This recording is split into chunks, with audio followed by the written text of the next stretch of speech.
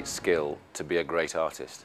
I do agree with that. I agree with the motion because it essentially, one of the great fallacies of art history is that art is only about a kind of manual skill to deceive the eye. The idea that art is somehow a kind of con or it's, it's a form of visual trickery. Skill, of course, is a component of much great art in the past, but it's not the essential component. The essential components of great art are many things. Vision, imagination, intelligence, bravery, sometimes originality almost for its own sake, sometimes exploring the, the, conventions of what art is and what art can be. Sometimes it's a spiritual impulse, sometimes it's mystical, sometimes it's more conventionally religious. This is, this, these are the underpinnings of the art of the past, but skill is simply a means to realizing that. If skill were the essential component of great art, then all academically trained artists would by definition be great artists because you can teach skill and that's clearly not true. Any of the great artists in the Western tradition, from Giotto to Michelangelo to Rembrandt to Caravaggio to Monet to Picasso to Jackson Pollock, they, they're all examples of that. Now, somebody seeing a Caravaggio for the first time would be drawn to the fact that in, by the standards of 17th century Italy, these look almost photographically real. But that's not why they're great paintings. They're great paintings because they have this immense spiritual depth, because actually they fundamentally shift the way that you look at the world potentially. And that was, that was the kind of magic. There was a kind of miraculousness about Caravaggio, it was felt when he first painted when his work was first seen. I think that the, the, the um, elephant that stands in the room at the back of this argument is a question about uh, training and whether art can in fact be taught at all. And what are the qualities that an artist needs to have in order to be relevant, uh, in a way purposeful, successful. Success is less important, maybe relevant and purposeful is more important. And I would say um, at the back of this argument is the fact that certainly in Russia and China, the, the basis for art education was an understanding about the French Beaux-Arts tradition, which is really 19th century, where you have to spend a certain amount of time drawing from a plaster cast of a Roman bust, a certain amount of time drawing from a bowl of flowers, and then maybe you know, in your second year you might be lucky enough to, to, to, to draw a human body. But anyway, you spend four or five years doing, in a sense, a very academic training. And with that, the idea is that you have then the skills necessary to be a competent artist. Well, I think this is a total nonsense. Art is not craft. Craft is there to make life more comfortable, more livable. Art is there to make life more difficult, more interesting and more complicated. And um, an artist needs intelligence, curiosity, and the ability to constantly probe at the unknown. Everything to do with skill is to do with the known, is to do with tradition, is to do with, in a way, doing well something that has already been done.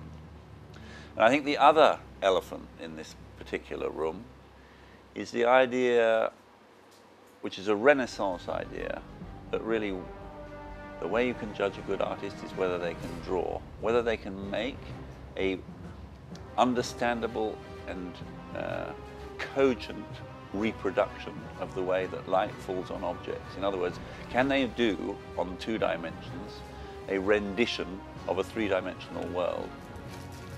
Well, this may have been relevant in the middle of the 15th century, but we're at the beginning of the 21st. We no longer need an art that is based on perceptual principles. We need an art that's based on conceptual principles. In other words, the whole origin of the word art is with the word skill. And artful is synonymous with skillful.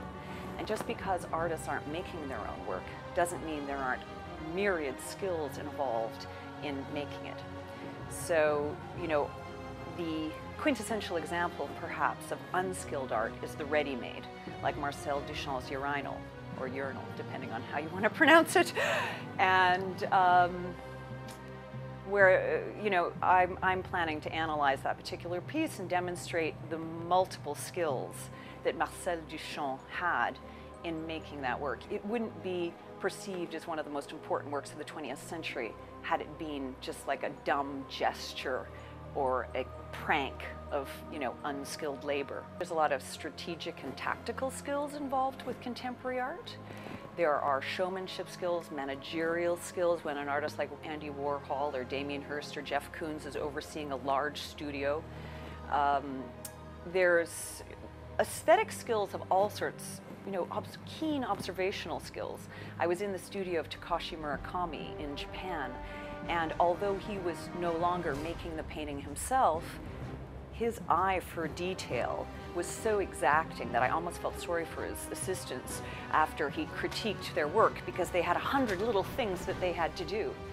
You know, and he has a PhD in Nihonga painting and he knows how to do it himself but has delegated it. But one of the artists I interviewed for uh, as kind of background research for this debate was John Baldessari.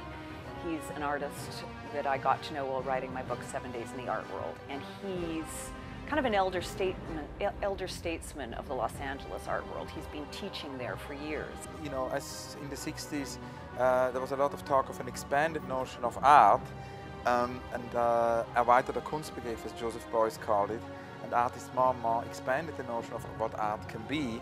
And I think within such a field of an expanded notion of art, there should also be an expanded notion of skills. You know, and there is not only the manual skills or craft-related skills. It's much more complex than that. There are intellectual skills. There are, you know, uh, skills of uh, dialogue, dialogical skills. There are intersubjective skills.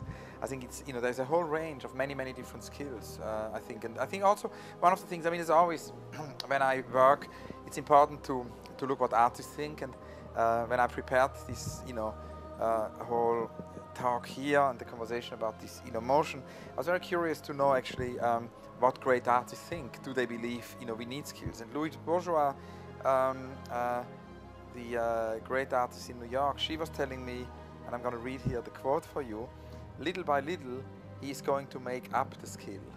And I think that's a very beautiful idea, you know, this idea that maybe it's also to the path. Skill is not something which is just there, but it's something which is evolutive, is a process. Uh, it's to do with learning. There is uh, um, uh, an expanded idea of skill means that all of these things very often it's the mix, you know, which which which makes it uh, which makes it happen. I mean now ever increasing we have also the technological skill. You know we have Cao Fei, an artist in China who develops more and more work in Second Life, um, and she has developed RMB City. It's a whole project she does in Second Life. So here, you know, technology and doesn't. I mean, we can also go, we can go totally into the present and into the future, but we can also go much further back. And I mean, from the Renaissance elevation really of drawing and, and painting to the status of liberal arts until the period then of our, you know, modern age, we can say that the requirement of great skill on the part of the artist means mainly mainly sort of skill of the of the hands you know and it has also to do with a representation of the external world. That was before you know photography. Uh, and I think uh, uh, ever since you know photography was invented and then throughout the 20th century we can say that you know um, uh, art got away from this idea of it being about you know representation